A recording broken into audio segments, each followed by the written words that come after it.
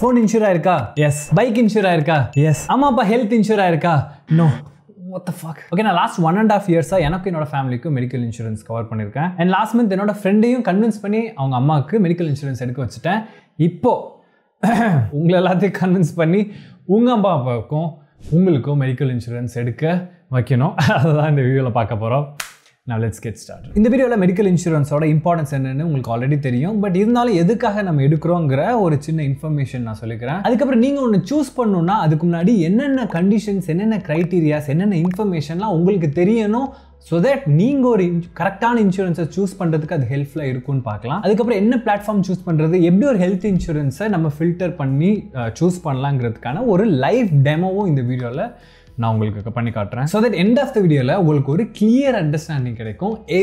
Everything about medical or health insurance for you and your healthy family நமக்கோ நம்மளோட பேரண்ட்ஸ்க்கோ ஏதாச்சும் ஒன்று ஃப்யூச்சரில் ஆறத்துக்கு ஆகாமல் இருந்தால் நல்லது. I hope that doesn't happen but ஏதோ ஒரு மெடிக்கல் கண்டிஷன் எல்லாருக்கும் ஏதோ ஒரு டைமில் வரதான் போகுது. எஸ்பெஷலி நம்ம அம்மா அப்பா ஓல் வயசாயிட்டே போகிறப்போ அதிக சான்சஸ் இருக்குது ஹெல்த் ரிலேட்டடான இஷ்யூஸ் வர்றதுக்கு. அப்படி இருக்கப்போ அவங்களுக்கும் சரி நமக்கு ஏதாச்சும் ஒன்று ஆச்சுன்னா நம்ம ஃபேமிலியை பார்க்குறப்போ நமக்கு அந்த டைமில் செலவு இல்லாமல் இருக்கிறத கண்ட்ரோல் பண்ணுறதுக்கும் மெடிக்கல் இன்சூரன்ஸு கண்டிப்பாக ஹெல்ப்ஃபுல்லாக தான் இருக்கும். ஒரு விதத்தில் இதுவும் கூட ஒரு டைப் ஆஃப் இன்வெஸ்ட்மெண்ட் தான் சொல்லுவேன். என்ன இந்த இன்வெஸ்ட்மெண்ட்ல நமக்கு ரிட்டர்ன் எதுவும் வராது. பட் நம்மளோட ஃபேமிலியோட வெல்னஸ் தான் இதோட ரிட்டர்ன் லாஸ்ட் இயர் இந்த மாதிரி தான் எங்கள் அம்மா கிட்ட டீட்டெயில்ஸ் கேட்டேன். இந்த மாதிரி நான் மெடிக்கல் இன்சூரன்ஸ் போட போகிறேன் மாதம் இவ்வளோ ஸ்பெண்ட் பண்ண போகிறேன் அப்படின்னதுக்கு எனக்கு என்னாச்சு? நல்லா தானே இருக்கேன். அதெல்லாம் ஒன்றும் வேணான்னாங்க அம்மா லூஸா நீ? லூஸா நீ? அப்படின்னு திட்டி ஒரு வழியாக போட்டாச்சு. ஏன்னா நம்மளோட இந்தியன் பேரண்ட்ஸோட மென்டாலிட்டி இவ்வளோ நாள் நம்ம நல்லா தான் இருந்தோம். இனிமேல் நமக்கு ஒன்றுமே ஆகாது அப்படின்றது தான் அப்படின்னு நம்மளோட விஷயம் தான் but you never know what is going to happen next so it's better be prepare okay இப்போ மார்க்கெட்டில் நிறைய டைப் ஆஃப் பிளான்ஸ் இருக்குது அந்த டைப் ஆஃப் பிளான்ஸ் எல்லாம் நம்ம பார்க்குறதுக்கு முன்னாடி ஒரு மெடிக்கல் இன்சூரன்ஸ் சூஸ் பண்ணுறோன்னா என்னென்ன விஷயம்லாம் நமக்கு தெரிஞ்சிருக்கணும் அப்படின்றத கிளியராக அண்டர்ஸ்டாண்ட் பண்ணிட்டீங்கன்னா அதுக்கப்புறம் நான் தேவை கிடையாது. நீங்களே சூஸ் பண்ணிக்கலாம். ஃபர்ஸ்ட் ரொம்ப ரொம்ப இம்பார்ட்டன்ட் ஒரு விஷயம் என்னன்னா கவரேஜ் எவ்வளோ நம்ம சூஸ் பண்ணுறோம் ஃபார் எக்ஸாம்பிள் திடீர்னு ஏதோ ஒன்று ஆச்சுன்னா நமக்கு எவ்வளோ மணி வந்துட்டு ஒரு இன்சூரர் ப்ரொவைட் பண்ணணும் அந்த டைமில் அப்படிங்கிற அந்த கவரை நம்ம ஃபர்ஸ்ட் டிசைட் பண்ணோம். அது வந்துட்டு த்ரீ லேக்ஸாக இருக்கலாம் ஃபைவ் லேக்ஸாக இருக்கலாம் டென் லேக்ஸாக இருக்கலாம் ஒன் க்ரோராக இருக்கலாம் எதுவாக வேணாலும் இருக்கலாம். ஸோ தட் நான் மந்த்லி மந்த்லி இவ்வளோ பே பண்ணுறேன் ஏதாச்சும் ஒன்றுனா நீ ஃபைவ் லேக்ஸ் எனக்கு கண்டிப்பாக கொடுத்துடணும்னு இன்சூரர் கிட்ட நம்ம கேட்குற மாதிரி அதுதான் கவர்னு சொல்கிறோம் ஸோ இந்த கவர் அமௌண்ட் சூஸ் பண்ணுறது ரொம்ப கேர்ஃபுல்லாக சூஸ் பண்ணோம் ஏன்னா ரொம்ப கம்மியாக சூஸ் பண்ணாலும் அந்த மணி பத்தாமல் போயிடும் நமக்கு தேவையான டைமில் அட் த சேம் டைம் நம்ம ஃபிஃப்டி லேக்ஸ்னு எடுக்கிறோன்னா அதை யூஸ் பண்ணாமல் போயாச்சுன்னா இவ்வளோ நாள் நம்ம மணி ஸ்பெண்ட் பண்ணலாம் வேஸ்ட் ஆகிடும் ஸோ ஓரளவுக்கு ஒரு கரெக்டான கவர் அமௌண்ட் தான் நம்ம சூஸ் பண்ணணும். செகண்ட் இம்பார்ட்டன்ட் திங் நம்ம என்ன பண்ணணும்னா இப்போ எனக்கு தனியாக நான் இன்சூரன்ஸ் எடுத்துட்டேன் எங்கள் அம்மா அப்பாவுக்கு தனியாக இன்சூரன்ஸ் எடுத்துட்டேன். பட் நீங்கள் அப்படி ஃபேமிலிக்காக எடுக்கணும்னு நினச்சிங்கன்னா ஃபேமிலி ஃப்ளோட்டர் பிளான்ஸ் நிறைய இருக்கும். மொத்த ஃபேமிலிக்கும் கவர் ஆகிற மாதிரி. ஒருவேளை நீங்கள் மொத்த ஃபேமிலிக்கு தான் டார்கெட் பண்ணீங்கன்னா தயவு செஞ்சு அந்த பிளானை சூஸ் பண்ணுங்கள் இல்லை அம்மா அப்பாவுக்கு மட்டும் போதுன்னா அவங்களுக்கு மட்டும் தனியாக நீங்கள் சூஸ் பண்ணிக்கலாம். நெக்ஸ்ட் நம்ம கன்சிடர் பண்ண வேண்டியது என்னென்னா அது நமக்காக இருக்கட்டும் பேரண்ட்ஸாக இருக்கட்டும் நம்ம இப்போதைக்கு ஹெல்த் நல்லா தானே இருக்குது கொஞ்ச நாளுக்கு அப்புறம் நம்ம வந்து மெடிக்கல் இன்சூரன்ஸ் எடுத்துக்கலான்னு தோன்றது நேச்சுரல் தான். ஃபார் எக்ஸாம்பிள் இப்போ நம்ம அப்பா அம்மாவுக்கு ஒரு ஃபிஃப்டி ஏஜ் ஆகுதுன்னு வச்சுக்கலாம். இப்போதைக்கு நல்லா தானே இருக்காங்க. அவங்க ஒரு ஃபிஃப்டி ஃபைவ் ஆகட்டும் ஃபிஃப்டி செவன் ஆகட்டும் அப்புறம் மெடிக்கல் இன்சூரன்ஸ் எடுத்துக்கலாம்னு நினைப்போம். பட் இங்கே என்ன பிரச்சனைனா நம்மளோட ஏஜ் அதிகமாக அதிகமாக நம்மளோட இன்சூரன்ஸ் ப்ரீமியம் அமௌண்ட் அதாவது நம்ம மந்த்லி மந்த்லி பே பண்ணுறோம் இல்லையா ஒரு பிளானுக்கு அந்த மணியும் இன்க்ரீஸ் ஆகிட்டே போகும். முடிஞ்ச அளவுக்கு நம்ம சீக்கிரமாக இந்த மெடிக்கல் இன்சூரன்ஸ் எடுத்தால் மட்டும்தான் அந்த மந்த்லி ப்ரீமியம் அதை வந்துட்டு நம்மளால் கம்மி பண்ண முடியும். நெக்ஸ்ட் இந்த இன்சூரன்ஸ் ப்ரொவைட் பண்ணுறதுக்கு நிறைய கம்பெனிஸ் இருப்பாங்க. இப்போல்லாம் எக்கச்சக்கமாக இருக்குது மார்க்கெட்டில் பட் ஒரு கம்பெனியை நம்ம எப்படி சூஸ் பண்ணலாம் ஒரு பிளானை எப்படி சூஸ் பண்ணலான்னா அவங்க கிளைம் செட்டில்மெண்ட் ரேஷியோன்னு இருக்கும். மீனிங் இது வரைக்கும் எவ்வளோ பேருக்கு இன்சூரன்ஸ் கிளைம் பண்ணி அவங்க மணியை பே பண்ணியிருக்காங்கங்கிற அந்த டீட்டெயில் நம்ம தெரிஞ்சுக்கிட்டு தான் ஒரு பிளானை சூஸ் பண்ணணும். பட் அதெல்லாம் நம்ம டெமோ செஷனில் டிஸ்கஸ் பண்ணலாம். நெக்ஸ்ட் நம்ம பார்க்க வேண்டியது நம்ம ஒரு பிளானை சூஸ் பண்ணுறப்போ அந்த இன்சூரன்ஸ் ப்ரொவைடர் வந்துட்டு நம்ம இருக்க அந்த சிட்டியில் எவ்வளோ ஹாஸ்பிட்டல்ஸ் வந்துட்டு அவங்க கூட லிங்காக இருக்குங்கிறத ரொம்பவே செக் பண்ணணும். ஏன்னா ரொம்ப பாப்புலரான ஒரு பிளான்னு சொல்லி அந்த பிளான் எடுத்துருவோம். ஆனால் நம்ம சிட்டியில் அவங்க கூட கனெக்டடாக இருக்க ஹாஸ்பிட்டலே இல்லைன்னா ஆப்வியஸாக நமக்கு ஏதாச்சும் ஒன்றுனா நம்ம ஊரில் இருக்க ஹாஸ்பிட்டல் தான் போவோம். அங்கே போயிட்டு இன்சூரன்ஸ் கிளைம் பண்ணலான்னா அந்த நேரத்தில் நமக்கு கேஷ்லெஸ் டிரான்சாக்ஷன் இல்லைன்னா பின் என்ன பண்ணுறது அண்ட் லாஸ்ட்டாக ப்ரீ எக்ஸிஸ்டிங் டிசீஸ் ரிலேட்டடாக ஏதாச்சும் உங்களுக்கு ட்ரீட்மெண்ட் தேவைப்பட்டுச்சுன்னா நீங்கள் பிளானை சூஸ் பண்ணி டூ இயர்ஸ்க்கு அது கவர் ஆகாது ஒன் இயருக்கு கவர் ஆகாது ஃபோர் இயருக்கு கவர் ஆகாது அப்படின்னு சொல்லியிருப்பாங்க. மீனிங் நான் பிளானை சூஸ் பண்ணிக்கலாம்.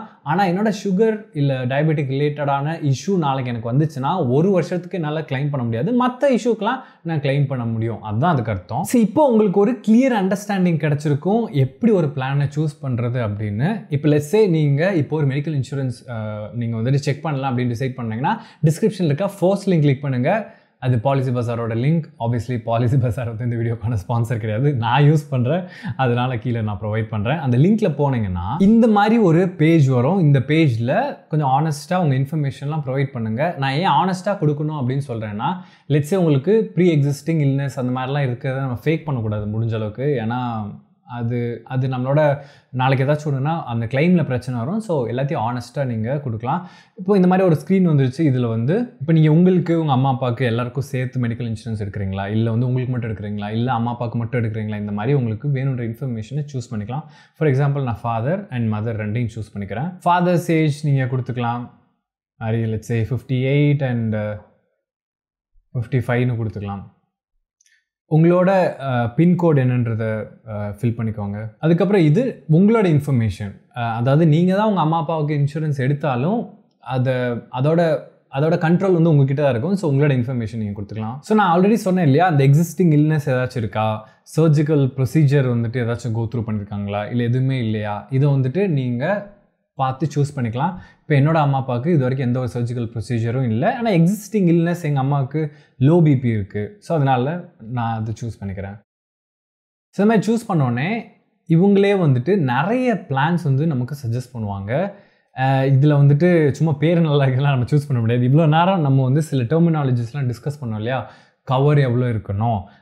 இந்த மாதிரி வெயிட்டிங் பீரியட் எவ்வளோ இருக்கணும்? ப்ரீமியம் எவ்வளோ இருக்கணும்? இந்த மாதிரி நிறைய இன்ஃபர்மேஷன் நம்ம டிஸ்கஸ் பண்ணல அதெல்லாம் இப்போ ஷார்ட் பண்ணி உடனே நம்ம நான் ஆப்வியஸாக நான் ஒன்றே சூஸ் பண்ண மாட்டேன். அது உங்களோட இஷ்டம். எதை வேணாலும் நீங்கள் சூஸ் பண்ணிக்கலாம். பட் என்னென்ன இன்ஃபர்மேஷன்லாம் மெயினாக பார்க்கணுன்ற டிஸ்கஸ் பண்ணோம் இல்லையா? அதை இம்ப்ளிமெண்ட் பண்ணி பார்க்கலாம் இப்போ. ஸோ நான் வந்து கவர் சூஸ் பண்ணேன்னா த்ரீ டு ஃபைவ் லேக்ஸ் இப்போதைக்கு சூஸ் பண்ணுறேன் ஏன்னா அதுக்கு மேலே ஒன் க்ரோர் இருக்குது I think that's too much so three to five lakhs நான் ஃபைவ் லேக்ஸ் தான் சூஸ் பண்ணுவேன். அது இதிலே காட்டும். த்ரீ டு ஃபைவ் லேக்ஸ் இப்போதைக்கு கொடுக்கலாம். ஸோ இந்த வெயிட்டிங் பீரியட் சொன்னேன் இல்லையா? நான் வந்துட்டு டே ஒன்னு கொடுத்தேன்னா அது கண்டிப்பாக ப்ரீமியமில் எக்ஸ்ட்ராவாக நம்ம பே பண்ணுற மாதிரி இருக்கும். அதனால கவர் ஆஃப்டர் ஒன் இயர்னு கொடுத்துட்றேன் இந்த மாதிரி ப்ரீ எக்ஸிஸ்டிங் இல்னஸ்னால் ஒன் இயர் கொடுக்கலாம். ஒன் இயரில் எதுவும் ஆயிராதுன்னு நினைக்கிறேன். அதனால ஒன் இயர்னு கொடுத்துடலாம். ஸோ தட் நமக்கு ப்ரீமியமும் கொஞ்சம் கம்மியாகும். ஸோ என்னோட ப்ரிஃபரன்ஸ்லாம் கொடுத்ததுக்கப்புறம் இந்த மாதிரி Care Health insurance Niva Health insurance இந்த மாதிரி நிறைய இன்சூரன்ஸ் ப்ரொவைடர்ஸ் வந்துட்டு வந்திருக்காங்க. இப்போ நம்ம நம்ம கொடுத்த ஃபில்டர்ஸ் படி இப்போ நீங்கள் உங்களோட இன்ஃபர்மேஷன் படி உங்களோட ஏரியா படி உங்களோட அப்பா அம்மாவோட அந்த ஹெல்த் கண்டிஷன் படி இல்லை உங்களோட ஹெல்த் கண்டிஷன் படி இந்த மாதிரி ஒவ்வொரு இதுக்கும் ஏற்ற மாதிரியான ஒவ்வொரு இன்சூரன்ஸ் ப்ரொவைடர் இருப்பாங்க. அதெல்லாமே நமக்கு சஜஷனை காட்டும். நம்ம என்ன பண்ணணும்னா நான் ஆல்ரெடி சொன்ன மாதிரி அந்த மேக்ஸிமம் கிளைம் செட்டில்மெண்ட் ரேஷியோ அதை நம்ம செக் பண்ணலாம். இதில் பார்த்தீங்கன்னா இந்த ஆட் டு கம்பேர்ன்னு இருக்கு இல்லையா லெட்ஸே நான் வந்து இந்த ஸ்டார் ஹெல்த் இன்சூரன்ஸையும் ரிலையன்ஸோட ஹெல்த் கெயின் அந்த ஒரு இன்சூரன்ஸையும் நான் கம்பேர் பண்ணிக்கிறேன். கம்பேர் பண்ணால் நமக்கு ஒரு அண்டர்ஸ்டாண்டிங் கிடைக்கும்.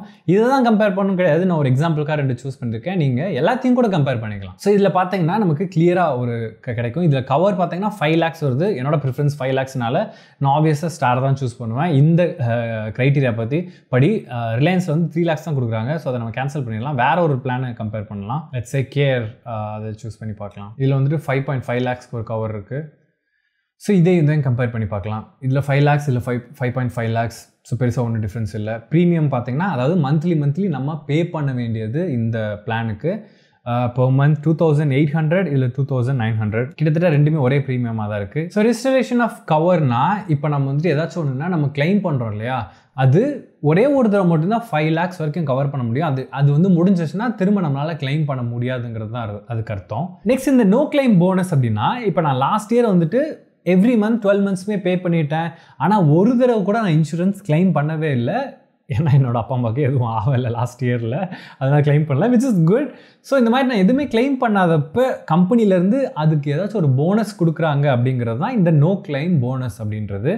லெட்ஸே இந்த ஃபைவ் லேக்கை நம்ம ஒன் இயர் நம்ம வந்து கிளைமே பண்ணலை அப்படின்னா அவங்க என்ன பண்ணுறாங்கன்னா start ஹெல்த்தில் two point five lakhs next இயரில் நமக்கு அடிஷ்னலாக ஆட் பண்ணுறாங்க நம்ம கிளைம் பண்ணலை அப்படின்னா. ஸோ நெக்ஸ்ட் இயர் இந்த பிளானை நம்ம ரெனியூ பண்ணுறப்போ ஃபைவ் லேக்கான மணி தான் ப்ரீமியமாக பே பண்ணுவோம். பட் நமக்கு cover five லேக்லேருந்து seven point five lakh increase ஆயிரும். பட் நெக்ஸ்ட் பிளானில் நோ கிளைம் போனஸாக ஃபிஃப்டி ஃபைவ் தௌசண்ட் மட்டும்தான் நமக்கு கொடுக்குறாங்க.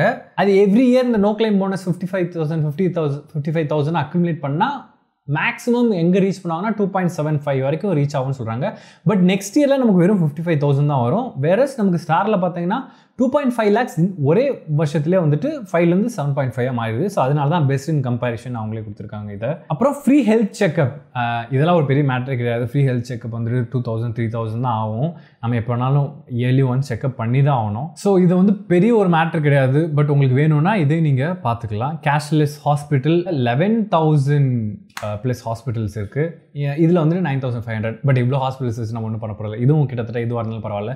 நம்ம பார்க்க வேண்டியது ப்ரீமியம் மணி கவரேஜ் அப்புறம் இந்த restoration of cover no claim bonus இதெல்லாம் பார்க்கணும். அப்புறம் இன்னொரு முக்கியமான விஷயம் எஸ் கிளைம் செட்டில்மெண்ட் ரேஷியோ இப்போ இந்த கிளைம் செட்டில்மெண்ட் ரேஷியோ எப்படி கால்குலேட் பண்ணுறாங்கன்னா இப்போ நூறு பேர் கிளைம் பண்ணுறாங்கன்னா அதில் எவ்வளோ பர்சன்டேஜ் ஆஃப் த பீப்புளுக்கு அவங்க வந்துட்டு மணியை வந்துட்டு பே பண்ணியிருக்காங்கிறது தான் நைன்டி பர்சன்ட் ஆஃப் த கிளைமுக்கு ஆக்சுவலாக கவர் ஆயிருக்கு. இங்கே நைன்டி ஃபைவ் பர்சன்டேஜ் இதுக்கான எக்ஸாக்ட் டேட்டா அவங்க கொடுக்கல பட் ஐ ஹோப் பாலிசி பஸார் ஒரு கரெக்டான இன்ஃபர்மேஷன் தான் கொடுத்துருப்பாங்கன்னு. பட் இந்த கிளைம் செட்டில்மெண்ட் ரேஷியோ ஆல்ரெடி நான் சொன்ன மாதிரி நைன்ட்டி ப்ளஸ் இருந்தாலே ஒரு நல்ல நம்பர் தான். Ninety five it's a great great number no claim bonus already நம்ம பார்த்தாச்சு. இந்த கோப்பே அப்படின்றது என்னென்னா நம்ம இன்சூ சம்டைம்ஸ் என்ன ஆகும்னா சில டைப் ஆஃப் இன்சூரன்ஸில் கம்ப்ளீட் மணியை வந்துட்டு அந்த இன்சூரன்ஸ் ப்ரொவைடர் நமக்கு பே பண்ண மாட்டாங்க. அவங்க ஒரு சர்டன் பர்சன்டேஜ் நம்ம ஒரு சர்டன் பர்சன்டேஜ்னு அதனால தான் நம்ம பார்க்குற பிளான் எல்லாமே கம்ப்ளீட்டாக அவங்களே பே பண்ணுற மாதிரி பிளான் தான் பார்க்கணும். இதில் ரெண்டுலேயுமே அவங்களே பே பண்ணிடுவாங்க மொத்த அமௌண்ட்டும் லெட்ஸே ஹாஸ்பிட்டல் பில் வந்துட்டு ஒன் லேக் வருது அப்படின்னா அந்த ட்ரீட்மெண்ட்டுக்கு மொத்தம் ஒன் லேக்மே நம்மளால் கிளைம் கிளைம் பண்ணிக்க முடியும் ஸோ இதில் பார்த்தீங்கன்னா இந்த வெயிட்டிங் பீரியட் நான் சொன்னேன் இல்லையா? Pre ex pre existing illness அது இதில் பார்த்தீங்கன்னா existing illness covered after three years தான். விச் இஸ் லாங் டேர்ம் நான் என்ன சொன்னேன்? ஆல்ரெடி ஒரு டூ இயர்ஸ்க்குள்ளே இருக்க மாதிரி இருந்தால் நல்லாயிருக்கும் அது again it depends upon the illness for example சுகர்லாம் இருந்துச்சுன்னா த்ரீ இயர்ஸ் கூட ஓகே தான். இப்போ த்ரீ இயர்ஸ்க்குள்ளே நமக்கு எந்த ஒரு பெரிய ஹெல்த் இஷ்யூவும் வராது. பட் மற்ற இல்னஸ் எனக்கு எக்ஸாக்டாக தெரியல. பட் சில இல்னஸ்லாம் வந்துட்டு உடனே ஏதாச்சும் எக்ஸ்ட்ரீம் கேசஸ் போகிறதுக்கு வாய்ப்பு இருக்குது அப்படி இருக்கப்போ நம்ம கண்டிப்பாக டூ இயர்ஸ் ஒன் இயர்ஸ்க்குள்ளே வைக்கணும்.